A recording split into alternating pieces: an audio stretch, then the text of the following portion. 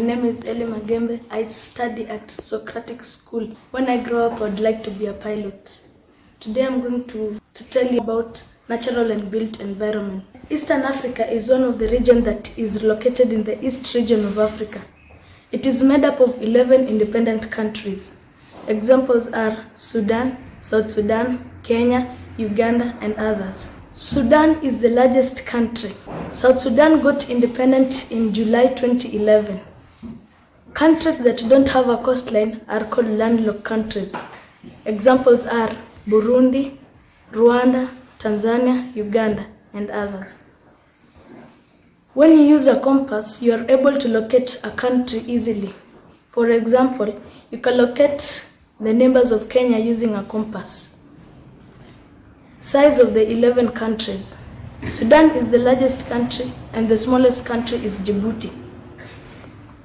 Longitudes. Longitudes are imaginary lines that run from the North Pole to the South Pole. They are called meridians or horizontals. The main, the main longitude is called the Greenwich meridian. Characteristics of longitudes are they are not parallel, they run from the North Pole to the South Pole, and they affect climate. Latitudes. Latitudes are imaginary lines that run from east to west. They are parallel. They, the main latitude is called the equator. It is represented by zero degrees.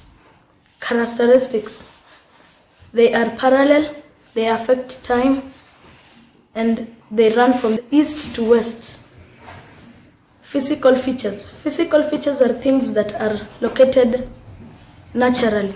Examples are mountains, valleys, plateaus, plains, and others.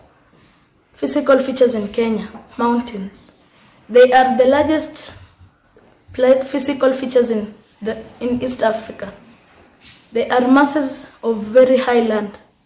Example of mountains are Mount Kenya, Mount Elgon, Mount Kilimanjaro, and others. Lakes. They, they are large water bodies that are surrounded by land.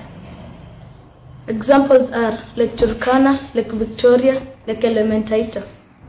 Plateaus. They are low-lying land with steep slopes called escarpments. Example of a valley is the Rift Valley. It is, it is divided into two, the eastern and west, western is Rift Valley. Plateaus. They are low-lying land that are also called tableland.